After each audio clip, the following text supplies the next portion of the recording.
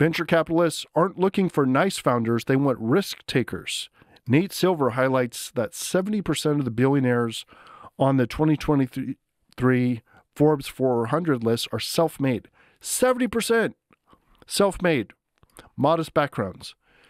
Um, so I saw Scott Galloway talking to Nate Silver about this. I really love this idea of it, basically, Nate Silver was talking about this thing I've been talking about for a while, which is they want crazy religious people who are just like, yep, I have no life whatsoever. I will sleep under my desk. That is what people are looking for. They're looking for a crazy vision. And when I say people, I'm talking about VCs and also startup founders who are hiring people. And I would argue this is the future of all work. The future of all work is you only hire these people. You only hire the most talented and the most crazy dedicated. Because to hire a worker who just does normal work, they show up nine to five and they do average level work, that's called AI. Except for it doesn't go home, it doesn't commute, it doesn't draw a salary, and you can upgrade it instantly. Okay, so nine to five workers who just do average work, that gets replaced. The only people I think that people are going to want going forward, and, this is an exaggeration, there's still going to be a need for some some of the other type.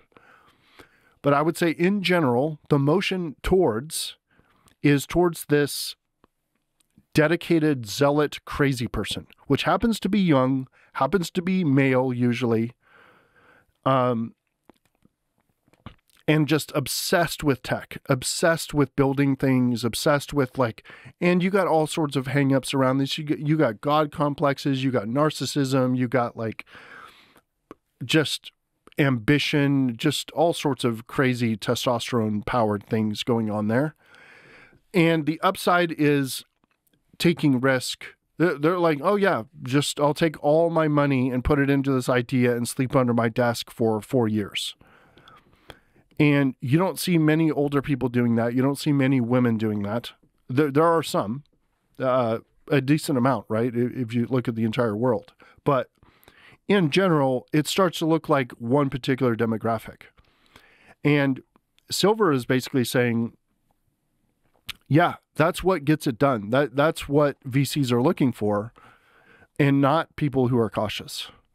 And I I find that really interesting. This negativity, this risk acceptance. It feels very Atlas Shrugged to me, which is kind of awesome and kind of gross for uh, different reasons.